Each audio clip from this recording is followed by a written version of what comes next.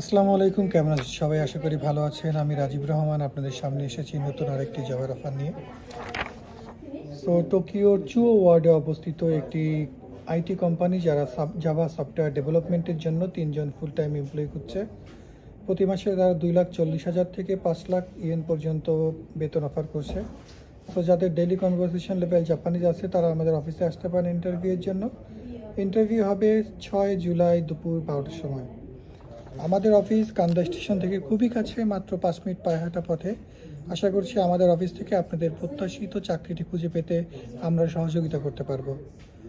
ভালো থাকবেন, সুস্থ থাকবেন, এই কামনায় আল্লাহ হাফেজ।